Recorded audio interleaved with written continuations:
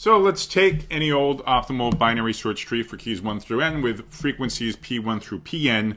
The thing we're trying to prove asserts that the left subtree t1 should be optimal for its keys 1 through r minus 1, and the right subtree t2 should be optimal for its keys r plus 1 through n. So we're going to proceed by contradiction. We're going to assume that's not true. What would that mean? That means for one of these two subproblems, either 1 through r minus 1 or r plus 1 through n, there's an, a binary search tree with even smaller weighted search cost, search time, than t1 or t2 respectively. The two cases are totally the same, whether in our contradiction we assume t1 is not optimal or whether t2 is not optimal.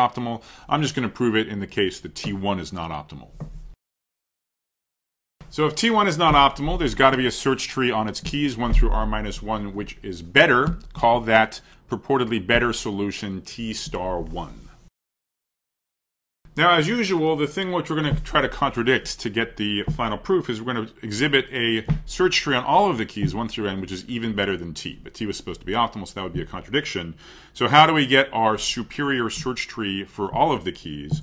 Well, we're just going to take t, and we're going to do cut and paste. We're going to do surgery on the tree t, ripping out its left subtree t1, and pasting in this subtree t star 1. Call the resulting tree t star. So to complete the contradiction and therefore the proof of the optimal substructure lemma, all we have to show is that the weighted search cost of T star is strictly less than that of T. That would contradict the purported optimality of T. So that's precisely what I'll show you on this next slide, and it's going to be evident if we do a suitable calculation. Here it is. So let's begin just by expanding the weighted search time of our original tree, capital T, the purportedly optimal one. Let's expand its definition. So you have one summand for each of the items i, and the weight we give to a given item is just its frequency p sub i, and we multiply that by the search time uh, for i in t.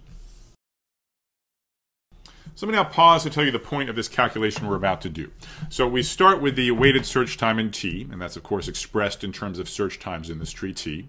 What I want to show next is that that can equally be well expressed in terms of search times in the subtrees T1 and T2.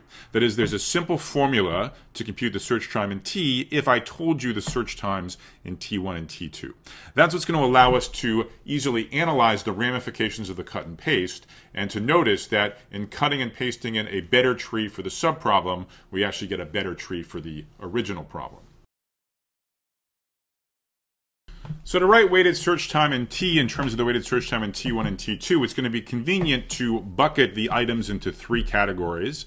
Those that are in the left subtree T1, i.e. 1 through r minus 1, those in the right subtree T2, r plus 1 through n, and then of course left over is the root r itself. So let's just break down this sum into its three constituent parts. So the sum summand corresponding to the root r contributes the frequency of r times the search time for r, namely 1 because it's the root, and then we have our sum over just the items up to r minus 1 of their frequencies times their search times, and similarly those r plus 1 up to n, their frequencies times their search times in t. So for the next step, let's observe it's very easy to connect search times in t with search times in the subtrees T1 and T2. Suppose you were, example, you were searching for some key in T that was in T1, so some key that was less than R. What happens when you search for this item in the tree T? Well, first you visit R, it's not R, it's less than R, so you go left, and then you just search as appropriately through the search tree T1. That is, the search time in the big tree T is simply the search time in the subtree T1 plus 1. 1 because you had to visit the root r before you made it into the subtree T1. So that is, for any object i other than the root, we can write its search time uh, in the big tree T as simply 1 plus uh, the search time in the appropriate subtree. So now let me expand and group some terms just to uh, clean up this mess. So now that the dust has settled, let's inspect each of these three sums. We actually have a quite simple understanding of each of them. So the first sum is just the sum of the PI. So for example, in the canonical case where we're dealing with actual probabilities, this is just 1. The point is, whatever the PIs are, this first sum is just a constant, meaning it's independent of the tree T with which we started. What's the second sum? So that's the sum over the objects from 1 to r minus 1, the frequency of i times the search time for i in the search tree t1. Well, we have a much uh, better, shorter nickname for that sum. It's the weighted search time of the search tree T1 for the objects it contains 1 through r minus 1. Similarly, this last sum, sum from i equal r plus 1 to n of the frequency of i times the search time in T2, that's just the weighted search time in the search tree T2. So we did this computation with the purportedly optimal search tree capital T in mind. But if you think about it, you look at this algebra, this applies to any search tree you like. For any search tree, the weighted search cost can be expressed as the sum of the PIs plus the weighted search cost of the left subtree of the root plus the weighted search cost of the right subtree of the root.